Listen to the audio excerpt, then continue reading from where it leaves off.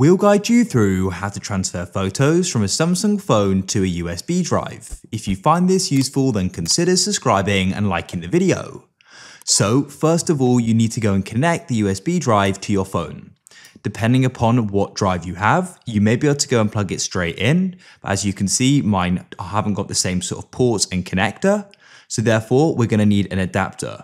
So what I'm going to do is go and plug the adapter in and I can then plug the USB into that. I'll go and link some down below, which you can check out. Now what you need to do is go and open up the Files app on your phone, just like so. And what you need to do is come to the main files page. You can see my USB down there. Now what we can do is go and select images. And what you then want to do is hold down your finger on one of the images or photos you want to go and transfer. You can then go and start selecting them. You could also select all in the top left if you want to as well. Then you can come down to the bottom and click on move or copy. In this case, I'll go and click on move.